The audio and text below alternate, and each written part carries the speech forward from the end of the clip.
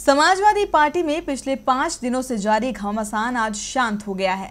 आज सीएम अखिलेश यादव को बड़ी ज़िम्मेदारी सौंपी गई है। अखिलेश को राज्य संसदीय बोर्ड का अध्यक्ष नियुक्त किया गया है। अखिलेश पार्टी में टिकट तय करने वाली कमेटी के चेयरमैन बनाए गए हैं, यानी साफ़ है कि अखिलेश यादव जो चाहते थे, मुलायम सिंह यादव ने वो अखिलेश को दे दिया है। अखिलेश ने टिकट बंटवारे का अधिकार मांगा था। वहीं दूसरी तरफ़ पार्टी में ये भी साफ़ हो चुका है कि शिवपाल यादव प्रदेश अध्यक्ष बने रहेंगे। आज खुद मुख्यमंत्री अखिलेश यादव ने इसका ऐलान किया। इसके साथ ही अखिलेश यादव ने शिवपाल यादव को उनके विभाग लौटा दिए हैं।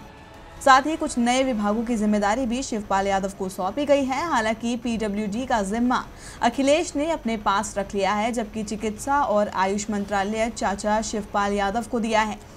इसके साथ ही बर्खास्त खनन मंत्री गायत्री प्रजापति को फिर से मंत्रिमंडल में शामिल करने का निर्णय लिया गया है। आज सुबह चाचा और भतीजे की मुलाकात भी हुई थी। ये मुलाकात करीब 10 मिनट तक चली। अखिलेश ने इस मुलाकात के बाद कहा, मैंने कभी भी पॉलिटिक्स को एक गेम नहीं समझा है। समाजवादी पार्टी का अध्यक्ष बनाए जाने के लिए मैंने उन्हें बधाई दी है। नेताजी का आदेश सर्वमान्य है। हम सभी को मिलकर काम करने की ज़रूरत है ताकि विरोधियों को मौका ना मिले। वहीं इन सबके बीच आज अखिलेश और शिवपाल यादव दोनों के समर्थक सड़क पर उतर आए और दोनों ने अपने अपने नेताओं के समर्थन में नारेबाजी की। तो समाजवादी परिवार का झगड़ा लगभग सुलझ चुका है, लेकिन इस पूरे झगड़े के पीछे का मकसद क्या था?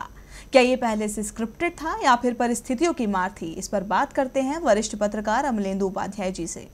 नहीं, रणनीति के तहत ऐसा नहीं किया गया है। देखिए, इसकी ये स्वाभाविक परिणति है और ऐसा होना ही था, आज नहीं तो कल कल नहीं तो परसों। चूँकि जिस तरीके की परिस्थितियाँ थीं और जिस तरीके से अखिलेश यादव को उत्तर प्रदेश की बागडोर सौंपी गई थी तो उसका ये परिणाम निकलना ही था।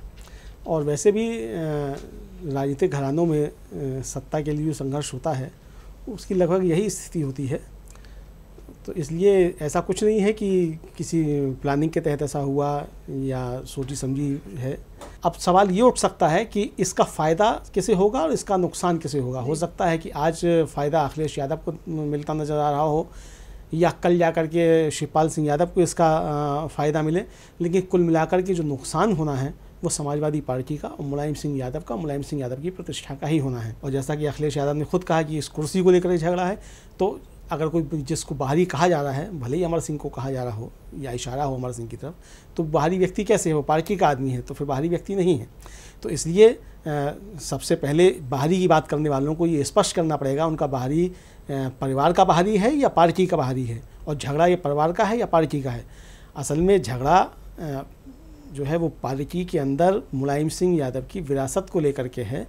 दिक्कत बाहरी की नहीं है।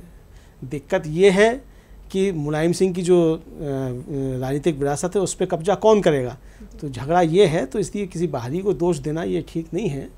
और ये स्वाभाविक परिणति है, ऐसा होना ही था, क्योंकि जिस तरीके से अखिलेश जी को सत्ता सौंपी गई थी, और उसके बाद जिस तरीके से पार्टी के अंदर चीज़ें हुई तो उसका ये परिणाम आना ही आना था। तो ये तो होना ही था। पार्टी में जिस तरह की परिस्थितियाँ बन रही थी, उसके बाद ये झगड़ा सामने आना लाजमी था, लेकिन अब मुलायम सिंह यादव की सूझबूझ से चाचा भतीजे की तकरार सुलझा ली गई है।